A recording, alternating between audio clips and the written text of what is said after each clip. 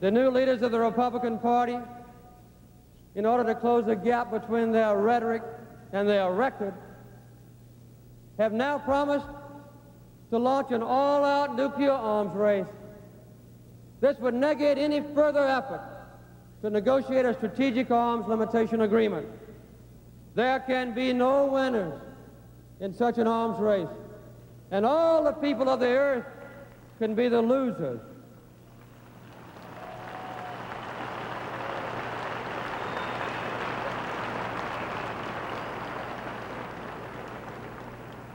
The Republican nominee advocates abandoning arms control policies which have been, which have been important and supported by every Democratic president since Harry Truman.